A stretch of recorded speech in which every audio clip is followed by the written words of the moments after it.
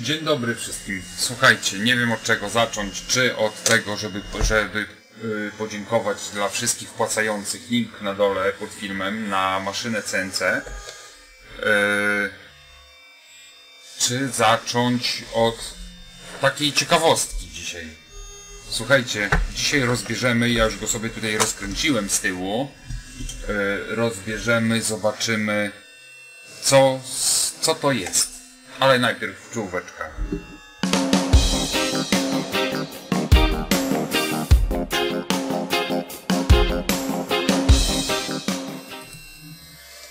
A więc dobra, polskie liczydło, tak zwane, znaczy za... y, to jest dokładnie...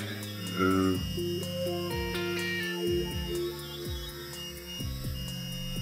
a, dokładnie Elvro, Elvro, to na pewno Elvro, ale... y, polski kalkulator, słuchajcie, z PRL-u. Będziemy go próbować dzisiaj odpalić, ale najpierw może zobaczymy co jest, co w środku, nie? Że tak powiem, otwórzmy go i tada! No, beautiful, nie? Lamp. Fajna lampa, słuchajcie.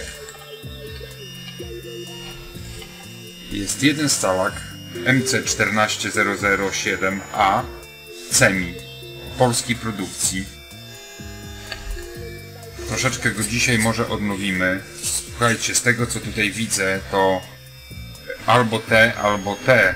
Nie wiem, nie, jeszcze nie ściągałem schematu, bo tu za bardzo tu nie ma takiej dużej potrzeby. Yy, te tranzystorki sterują albo katodą, albo anodą, raczej katodą, a te anodą. I teraz tak, yy, 307 zwykłe, a tutaj jest też 307, BC307, słuchajcie. Czyli jednym słowem, napięcie anodowe tej lampy wcale nie musi być takie wielkie. Patrzcie ile przewodzików. No ale cóż, zobaczymy. Zobaczymy. Tutaj jest gniazdo wciśnięte. Zobaczymy zaraz jak wymienimy te gniazdo. O ile to się da wymienić, bo to jest razem chyba w płytce. Ok. Tradycyjny druk. Sprawdźmy na początek bezpiecznik, czy nie jest spalony. Jeśli nie jest spalony, to jest wszystko git. To znaczy, że sprzęt może działać. Tylko teraz nie wiem, czy przez obieg mi się zamknie. Dobra, podnieśmy go sobie z jednej strony. Nie jest spalony, czyli on prawdopodobnie pracuje. No lampa piękna. Ciekawe ile zegarków by wyszedł tak. Godziny, minuty, sekundy i setki nawet. Można by było zrobić zegarek na nim, nie? Ale nie będziemy tego psuć, ponieważ jest całkiem fajny, przyzwoity stan, tylko troszeczkę do czyszczenia a na pewno się przyda. Zaraz poszukamy takiej y, gniazdka takiego identycznego, tylko ten musimy rozmintować. Weźmy sobie wkrętarkę, jakiś tam wiertło jest, patrzę siedzi we, we wkrętarce. Ale pewnie za głośno to idzie. Y, te audio. Dobra, podłączmy sobie 12V do wkrętarki niestety, bo akumulatory są wywalone. Może kiedyś kiedyś zrobimy tutaj jakiś akumulator do tej wkrętarki. Ok, jeden ścięty. Drugi ścięty. Zaraz obszukam warsztat, może znajdę identyczne gniazdo. Pewnie z jakiegoś starego sprzętu się wyciągnie. O ile, że tak powiem, moment. O ile ci nie wyciągnie. Nie, tutaj są wyłamane te. Ale jak to tak można zrobić, że tak wyłamać, słuchajcie, zobaczcie. W środku, kurde, połamane są bolce. Albo spróchniały ze starości, albo po prostu już im dość. Dobra, spróbujemy wyciągnąć te gniazdo, rozlukować je.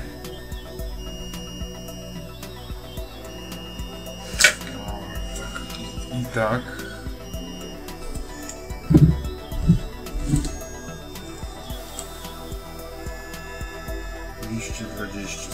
Idzie prosto na ten przełącznik czerwony.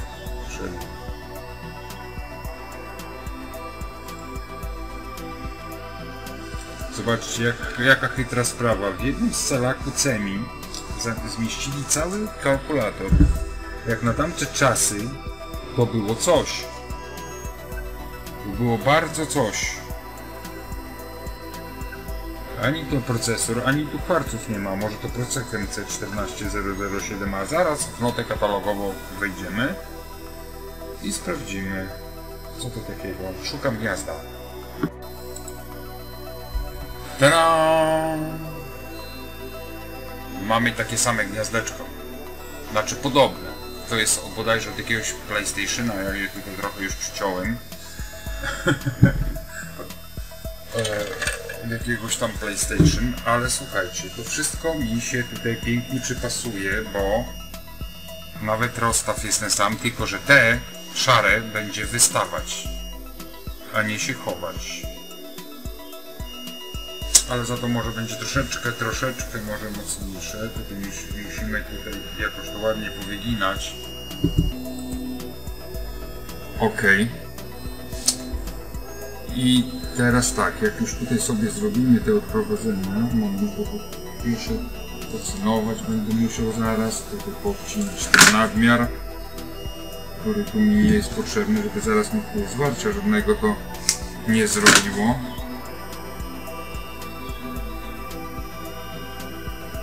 Okej. No i dobra, mamy gniazdko. Zaraz je tutaj sobie zamontujemy i będziemy próbować to odpalić. Aha.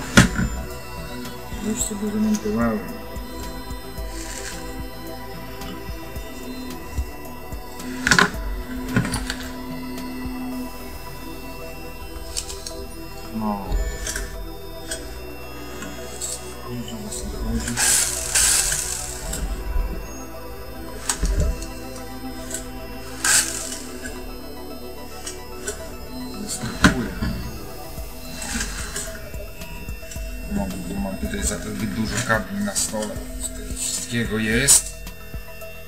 Okej.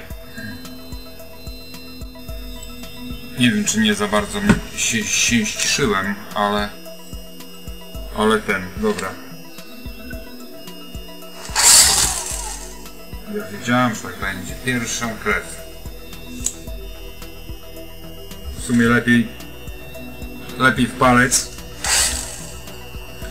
niż w ten. Niż w... w lampę, nie? Nie no, żarty, żartami. A boleć boli. Spróbujmy jakoś wyciągnąć tego nita. Może z tej strony się uda rozmitować. Hmm, jeszcze wezmę kurde i pobiję to. Dobra, poszedł. Poszedł mi. Okej, wstawmy sobie teraz tę drugą lampkę, tą lampkę, gniazdko. Od tej strony nie wlezie, a od tej... O, a jednak inne. Musimy trochę porzeźbić, a jak nie... E, zaraz to zaszlifujemy. Albo wydrukujemy takie gniazdo na drukarce. Żartowałem. Dobra, nie ma to co kątówka i taśma. Yy. Okej, tu przypasiło. Tu jeszcze coś mi pasuje. Ale resztę tu może... Może zrobimy niczkiem, albo nie, dobra, kątóweczką.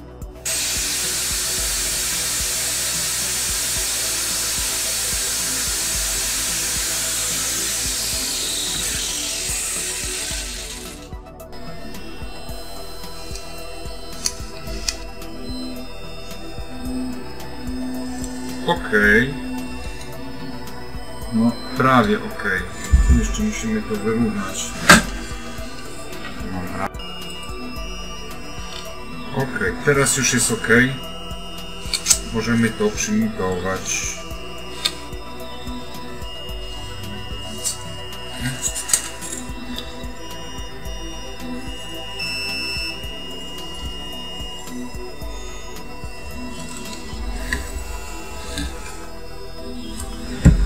No, oczywiście nitownica nie wejdzie.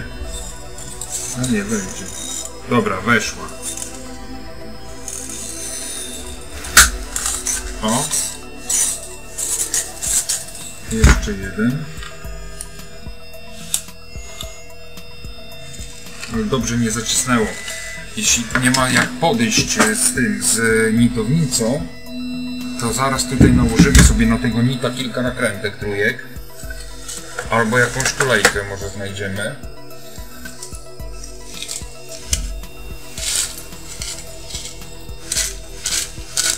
Po prostu chodzi o to, żeby najlepiej było kolejeczkę taką znaleźć na trójki. O ile tutaj, wygrzebie, dobra, zaraz. Okej. Yy, nałożyłem już tutaj dwie nakrętki, jak widać, na, yy, na nita.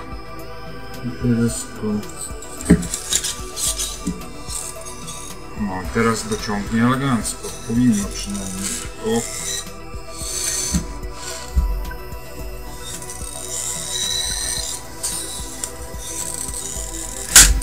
Okej, oczywiście nakrętki się rozsypały. No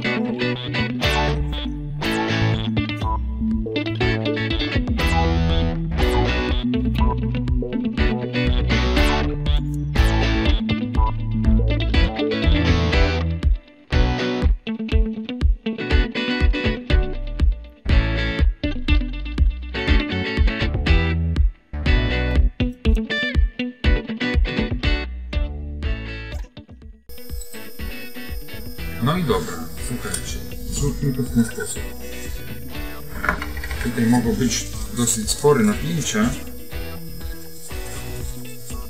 więc włóżmy to z powrotem tak jak było. Miastko jest już za wymienione. No i cóż, spróbujmy. Tu mamy filtr, zielony filtr na na lampę. Spróbujmy teraz go podłączyć.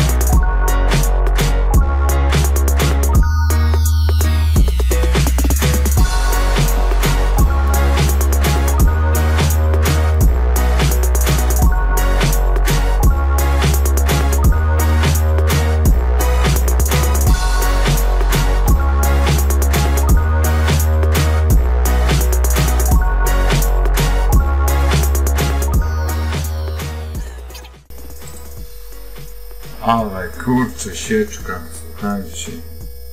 Gumka jest spartniała ze starości i od wilgoci. Ale styki są bardzo fajnie zrobione, słuchajcie. Można by było je jeszcze polutować nawet. Ale nie ma sensu. A może jest. W sumie nie ma sensu.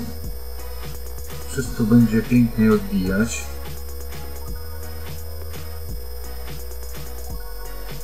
Tylko musimy to wszystko teraz odczyścić.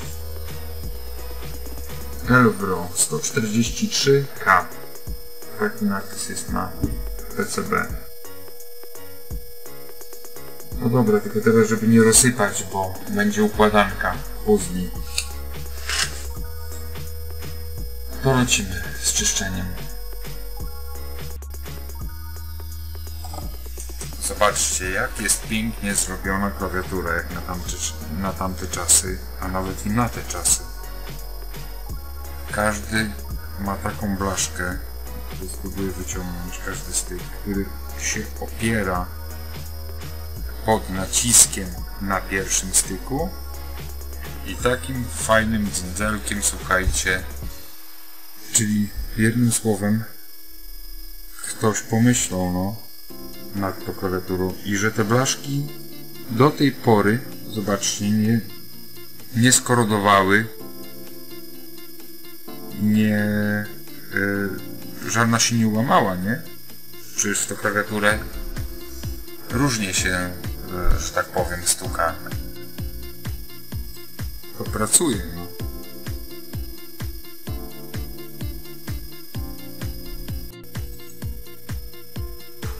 takiej gąbki, która tutaj była, to na pewno nie dostanę, a wycinać to wszystko... O, shit, wiedziałem. No dobra, się dostanie to gąbki. No to mam puzzle do układania. Dobrze, że jest zdjęcie na internecie, także wiem gdzie co było. Działam no. Tada! I wszystko siedzi na miejscu. No dobra, można powiedzieć, że y, ogarnięta została klawiatura. Jak widać mamy tutaj 0. 0 jest 2, 3, 4, 5, 6, 7, 8, 7, 8, 9 jest. I teraz 3 razy 3 równa się 9. Ok, wszystko działa. 3 jeszcze raz 3 podzielić przez półtora. Równa się 2, wszystko działa. 6 3 minus 3 równa się 0 działa. 3 i teraz tak. 3 plus 3 równa się 6 zobaczcie, on wyświetla po przecinku od razu wynik, jeśli dodajemy, nie? Kiedyś ceny w sklepach były w milionach. Czyli się liczyło 3 plus na przykład 6 i od razu razy 3 zera, czyli 9 kropka i 3 zera, czyli po kropce wyświetla. No dajmy na to, zróbmy sobie w ten sposób, że 3 y, razy 3,1 i od razu wychodzi 9,300 nie 9,3 tak jak teraźniejsze kalkulatory, tylko od razu do tysiączki zaokrągła. Dobra, ok, kalkulator składamy i, i zaraz będzie efekt końcowy. Działa, słuchajcie, działa. Stary PRL, liczy do PRL. Czekajcie, się obróciło mi wszystko. To tyle. I teraz tak, która strona to była prosta, która to była, momencie, to było tak, czy tak? Tak, było. No. O. Metalowa osłona. I będziemy teraz komentować zaraz nie trafiło. Jeszcze od spodu nakręt natrafić, czego tam chodzi. Co znowu nie tak zrobiłem. No dobra, słuchajcie, skręcamy. Korka.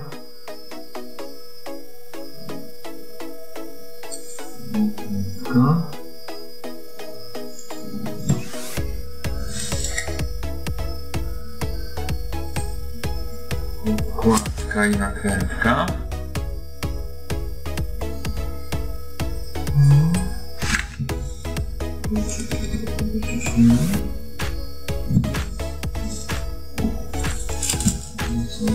Jest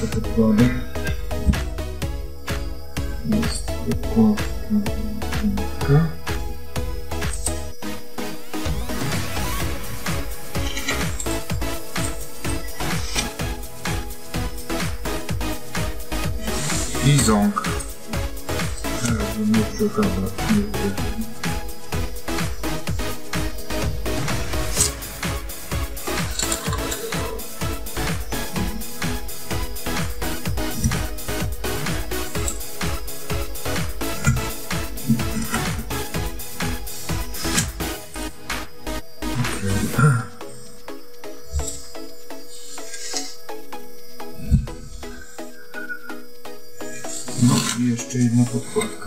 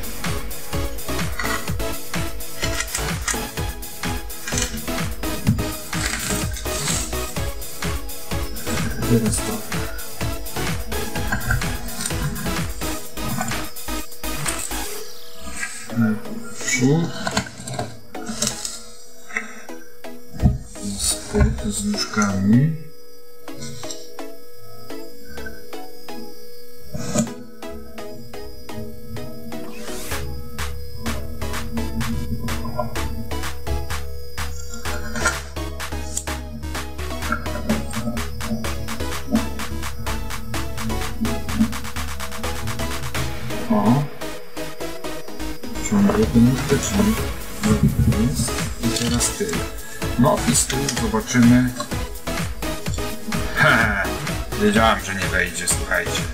To jest kwadratowe, to było owalne. Musimy teraz ładnie jeszcze to obrobić i zaraz będzie efekt końcowy.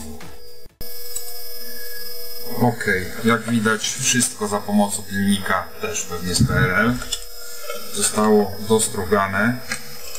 Zobaczcie, jak stąd. Jak stąd.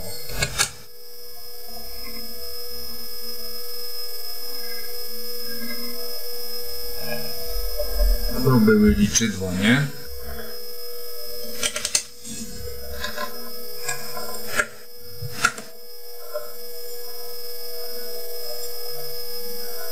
No, jeden, jedna ścieżka była po prostu przeżarta i wymiana na styczeń. Tada!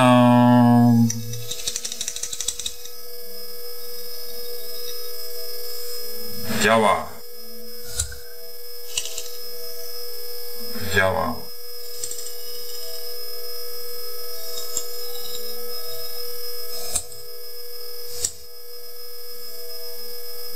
Pozdrawiam. Aha.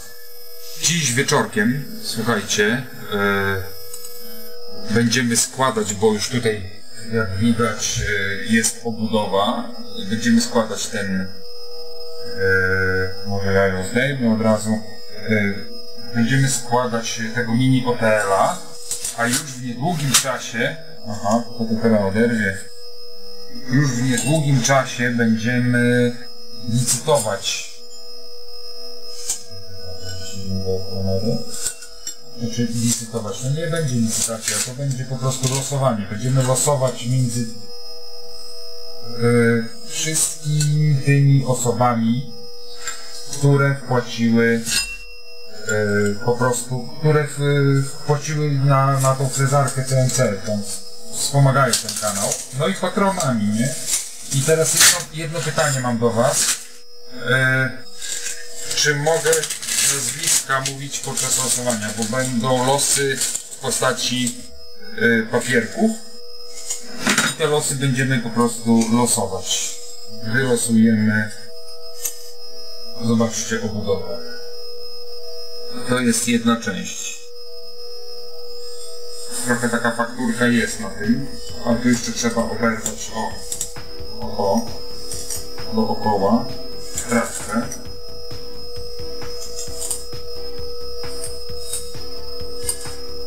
To jest jedna część budowy, będziemy drugą część budowy i wieczorkiem o 19 dzisiaj live z montażem tego OTL-a, bo do tego OTL-a są jeszcze kolumny, które też dzisiaj wieczorem Wam pokażę.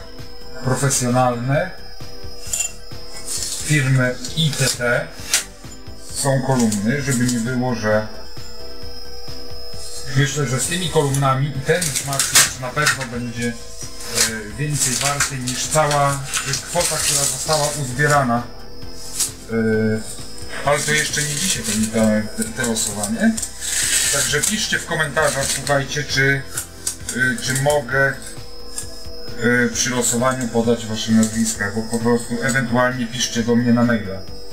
Y, piszcie na maila piracz22 małpa.wp.pl ci, którzy chcą, żeby było podane nazwisko i ci, którzy nie chcą, żeby było podane nazwisko, żeby było po prostu żebym miał zgodę od was. Na maila po prostu piszcie na maila. Projeczki jeszcze zaraz do tego dojdą. Fajna będzie obudowa, słuchajcie. Mam nadzieję, że te cztery filtre ładnie tu przysłoną. I nie zajdą jeden na, drugi? Dobra, to by było na tyle. E, na dzisiaj spotykamy się o 19. Mam fajne liczydło. Komputer z PRL. Polski komputer z PRL. Taki będzie tytuł. Pozdrawiam.